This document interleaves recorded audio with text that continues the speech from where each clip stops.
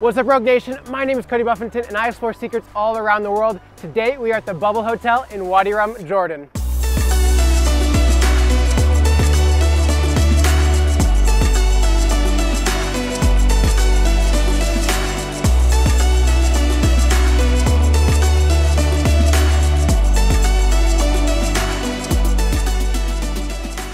our driver has taken us about two hours down to Wadi Rum, but to get to our hotel, it is in the desert, so we have to stop at this point, and a, a 4x4 car will be taking us into the desert.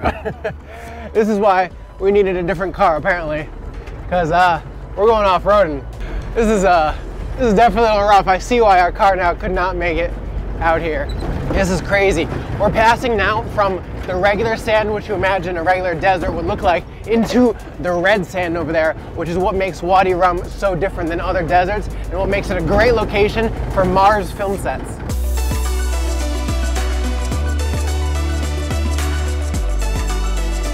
All right, 20 minutes of bumpy ride later, we've made it to the UFO Hotel here in the middle of the desert, and I gotta say, it looks incredible.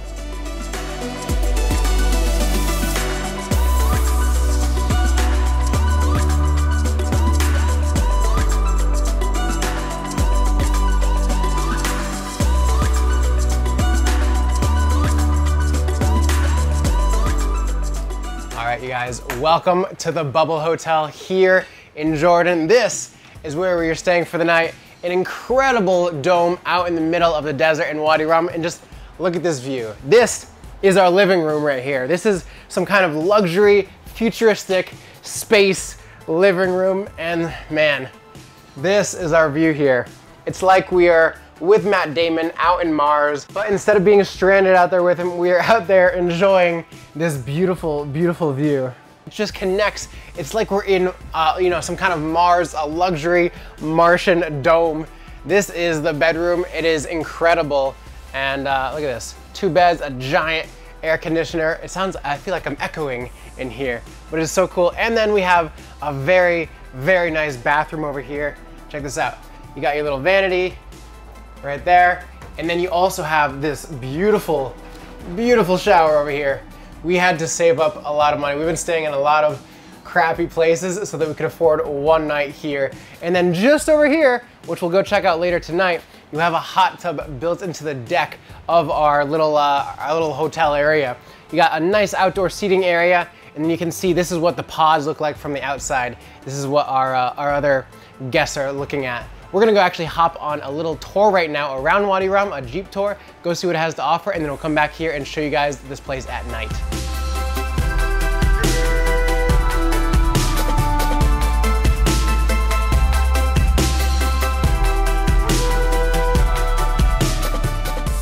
So we've come to a viewpoint here, and this is actually a viewpoint that is used in the movie The Martian, one of many space movies that take place here in the Wadi Rum Desert the most recent being Aladdin. And what's nice about Wadi Rum is that they limit the amount of campsites that are allowed to be here. There can't be any five-star hotels that go up. They can only have campsites and they limit it to about 20 campsites per area. So they can't have these massive, massive hotel chains coming out here.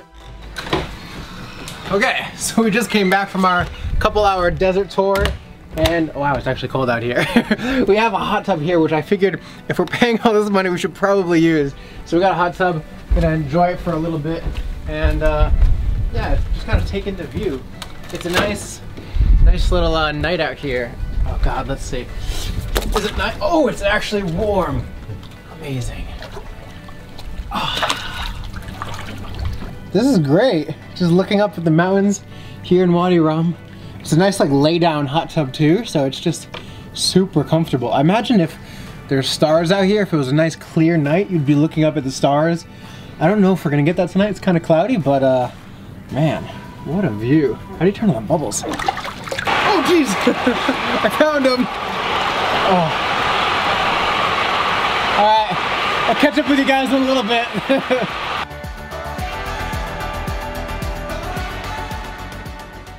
All right, so I just got out of the hot tub and now we are heading to the dining hall. That is the massive tent where we checked in and there's a whole bunch of dining areas. We're gonna go see what's for dinner because it's included as well as breakfast. So that's pretty cool. And we're walking down this very nice lit path. It kind of looks like we're on a plane runway track right now.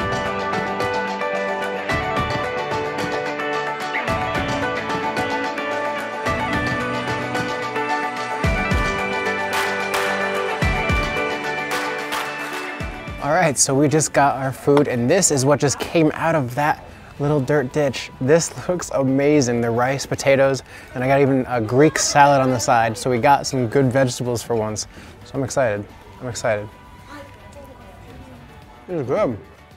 It's really good. The vegetables are so fresh.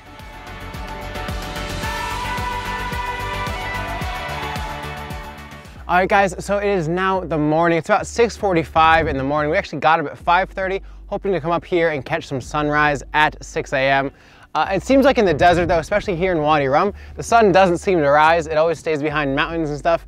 So if you are trying to catch sunrise and you're trying to do it on a camel, which we were originally gonna do, you might wanna skip that. But if you're not worried about it, I would definitely recommend going to do a camel at sunrise because you can, you can ride around on the camel here, see these incredible mountains in the background. You're just not gonna have a giant sun flaring in the back behind you. But it is a beautiful sight this morning. We've come out here. It's a little windy, a little cold once you're here in November in the desert. So we woke up and we were a little chilly, but it is this beautiful, beautiful sight behind me. This is definitely a unique experience. I know I've been staying at very uh, kind of cheaper Airbnbs, $20 Airbnbs, so that I could afford this one night here. This was almost $400 just for one night to stay at this uh, bubble hotel, but it was quite the experience. You had dinner, breakfast, all included, and you had this luxurious bubble for the night. So for me, I think it was definitely worth it coming here to experience this. There's a hot tub. You got to see the giant uh, panoramic view that they offer from the living room, and sleeping in it was extremely comfortable. So for me, staying here for one night and staying at cheaper places the rest of my trip was definitely worth it. Because like many people, a Wadi Rum is at the end of their trip. Usually you follow the same route. So when you are at Wadi Rum, it's gonna be your last day or two here in Jordan. So it is kind of nice to spend that little bit of extra to enjoy your trip. Also a point to mention that this right here, this bubble hotel, it's about 400 US dollars a night. On the other side of this rock right here, it's actually owned by the same company. There's another one called the UFO Hotel, which is just under $300 a night. So if you do want to go for a little bit of a cheaper option, they have a very similar experience just on the other side of this rock. So this is the common area where everyone comes for food, drinks, reception from the Bubble Hotel as well as the UFO Hotel. All right, you guys, so we are now heading out of the desert. We're gonna head actually back to Amman today. So about five hours from now, we'll be in Amman and then we fly out, fly out later tonight back to New York City. I hope you guys enjoyed this video. I hope you guys enjoyed the Jordan series as well. If you're new here, click that subscribe button down below. And until next time, Rogue Nation, explore the world.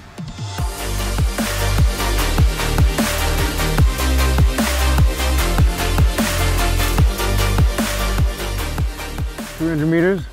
All right. Just. All right, breathe, Cody. Take the shot. Oh, we got him.